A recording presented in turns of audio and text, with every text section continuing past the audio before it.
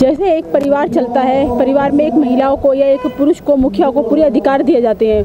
पूरी उसको अ, अ, क्या उस पर विश्वास जताया जाता है कि आप पूरा काम करोगे अपने घर के लिए। ऐसे ही अगर एक देश के एक एक दिल्ली को अगर उसको पूर्ण राज्य का दर्जा दिया जाएगा तो वो अपने पूरे काम कर पाएगी उसको पूरा अधिकार मिलेगा। तो जो उसकी जो फोर्स है जो सारे अधिकारी हैं जो सारी जनता है जो सारे दोनों सब मिलजुल के काम करेंगे तो सारा अधिकार जब मिला मिलेगा उनको तो वो पूरी तरह से काम कर पाएँगी। जब उनको पूर्ण राज्य का दर्जा ही नहीं दिया गया तो काम कैसे कर पाएँगी? मौर्य जी, आप राज्य के दर्जे की बात कर रही हैं? आज सारे नेता और सारे अधिकारी ये कहते हैं, आज हमारा संविधान खतरे में है।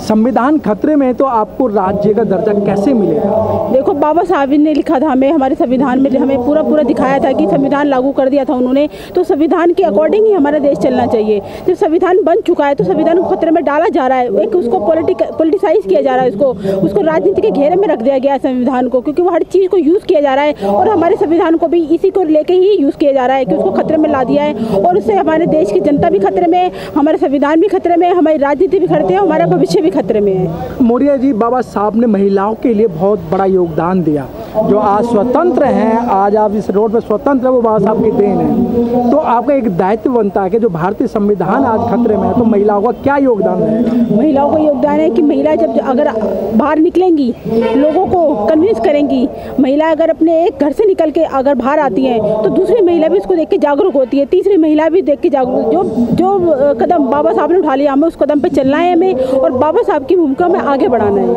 तो बाबा साहब ने महिलाओं के लिए जो ऐसा कदम उठाया था राजनीति में भी और जो पहले महिला 16 16 घंटे की 12 12 घंटे की नौकरियाँ करती थी। अब उन्हें बाबा साहब की देन है कि उन्हें 8 घंटे की नौकरी करनी पड़ती है। जो महिला प्रेग्नेंट होती थी, उनको जो छुट्टी दी जाती थी तो आप क्या कहेंगे? महिलाओं को क्या उपदेश देना चाहेंगे? देखो, ये बाबा साहब की ही देन है कि इतनी इतनी सारी सुविधाएँ उन्होंने महिलाओं को दी थी। अगर आज ये अगर संविधान पर नहीं लिखा होता तो ये जो 16 घंटे की ड्यूटी बांधी हुई थी उन्होंने तो 16 घंटे की ड्यूटी बन के 24 घंटे की बढ़ जाती। ये तो संविधान में लिख दिया गया था, लेकिन उस संविधान को भी खतरे में ला दिया उसको भी पूर्ण पालन की, की नहीं किया जा रहा उसको भी राजनीति में धकेल दिया गया संविधान को। तो वो वो जो संविधान को जब बाबा साहब ने बनाया था इसको देख के बनाया था क्योंकि वो पूर्ण पूर्ण वो दूरदर्शी थे। उनको पता था कि आगे होने वाला है। तो उन्होंने पहले ही सब कुछ लिख दिया था कि ऐसे ऐसे करना है आठ घंटे की ड्यूटी करनी है या इतना हमें मुआवजा देना है। तो हमें बाबा साहब के जो कदम उठाया उसको महिलाओं को हमें उसको आगे ले जाना है और लोगों को जागरूक करना है। मौर्य जी आज देश को आज़ाद हुए लगभग सत्तर साल हो गए हैं। आज भी लोगों की जो विडम्बना है। वो पहले तुलसी तुलसीदास जी थे एक उन्हें स्वामी कहा जाता है। उन्होंने कहा था ढोल गंवार शुद्ध पशु नारी ये सब ताड़न के अधिकारी। लेकिन देश आज़ाद होने के बावजूद भी आज ना तो दलित सुरक्षित हैं ना मुस्लिम सुरक्षित हैं ना महिलाएँ सुरक्षित हैं।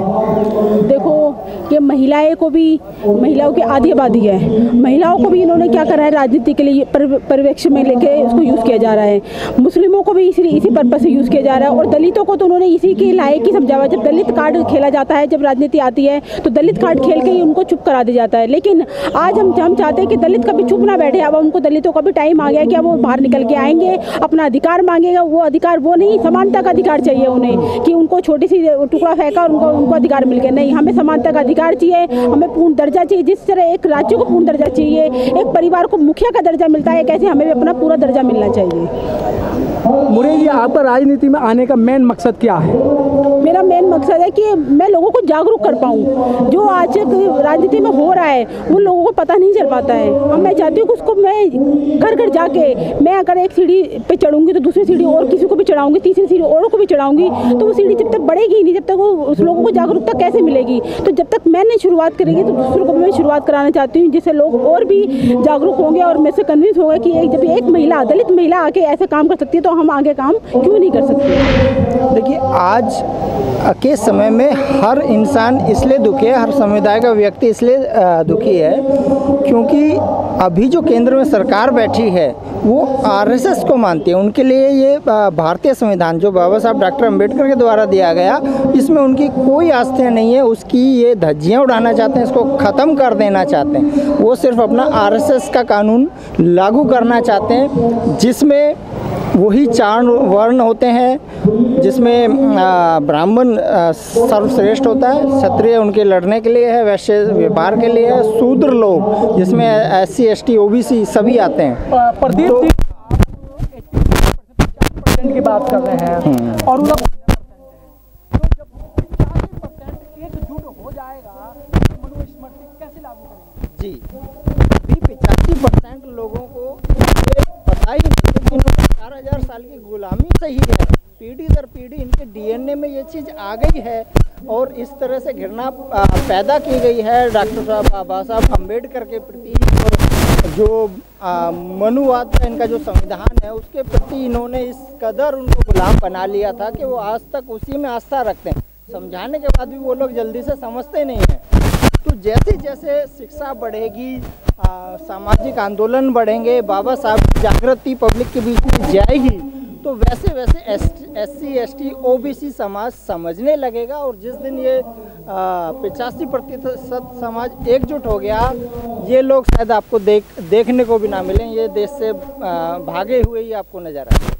तो ये आपका बीजेपी का मतलब गुजार करना चाहिए बीजेपी सरकार आई है और इन्होंने बाबा साहब की मूर्ति को तोड़ने का काम करा दामा स्वामी पेरियार की मूर्ति को तोड़ने का काम किया, और जो की मूर्ति उन्होंने तोड़ने का काम किया जिससे समाज के अंदर एक एक आने की बात की एग्जैक्टली ये लोग जितना हम हम S C S T O B C को दबाना चाह रहे हैं। एक्चुअल में हमें उतना फ़ायदा मिल रहा है।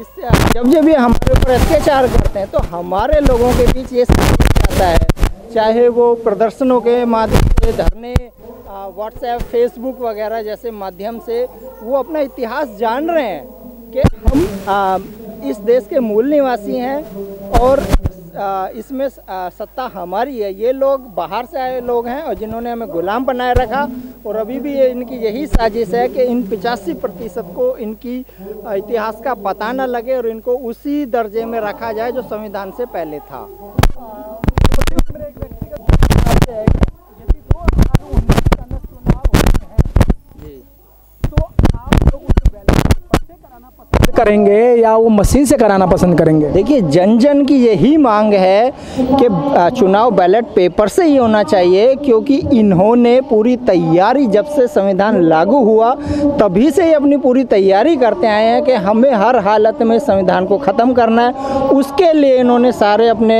ऑफिसर्स सारे विभागों में लगाए और उनको इस तरह तैयार किया ट्रेनिंग दे करके कि आज वो सब बिक गए हैं।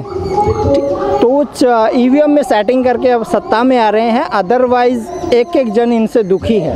नहीं मेरा क्वेश्चन था आप ईवीएम से कराना पसंद करेंगे नहीं ऑब्वियसली इसमें कोई डाउट ही नहीं है बैलेट पेपर से ही चुनाव होना चाहिए तभी आ, आम आदमी का जो मत है वो सही तरीके से आ, पढ़ पाएगा और आ, ज, आम जन ने किसको आई मीन सरकार बनाने का आदेश दिया वो असलियत में तब पता लगता है।